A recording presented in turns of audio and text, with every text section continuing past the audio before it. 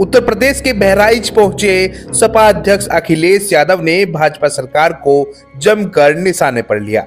उन्होंने कहा कि यह चुनाव बाबा साहेब भीमराव अंबेडकर जी के सपने को बचाने का है। यह चुनाव आज़ादी बचाने का और संविधान बचाने का है।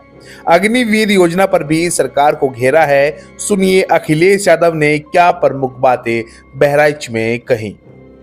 लोकतंत्र बचाने का है। ये चुनाव बाबा साहब भीमराव अंबेडकर जी के सपनों को बचाने का चुनाव है। ये चुनाव आज़ादी बचाने का है, संविधान बचाने का है। इतनी पाबंदियाँ लग जाएँगी जिसकी आप कल्पना नहीं कर सकते।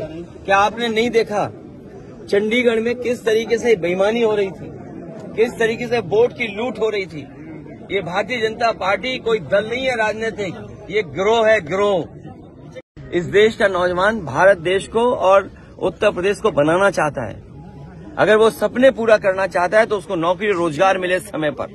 वरना उनकी जो क्षमता है जो उनकी एनर्जी है वो वेस्ट हो रही है।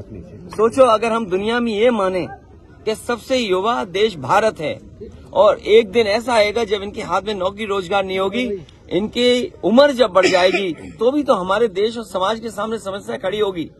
इस सरकार की नीयत कभी नहीं रही कि नौजवान अपना भविष्य बनाए।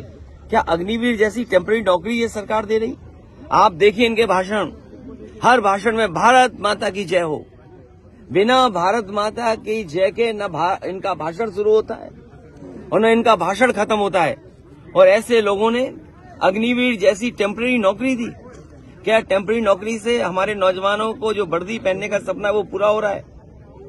जो टेम्पररी नौकरी देते हों नौजवानों के भविष्य से खिलवाड़ करते हों और किसान धरने पर बैठा है। ये कहते हैं राष्ट्रवादी हैं। हम राष्ट्र प्रेमी लोग हैं।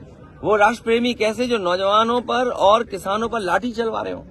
किसानों पे आँसू गैस के गोले चलवा रहे हो?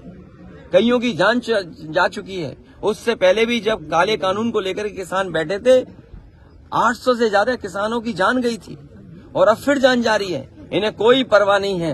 इन्हें केवल परवाह अपने वोट की है वोट के लिए भारतीय जनता पार्टी कोई भी झूठ बोल सकती है।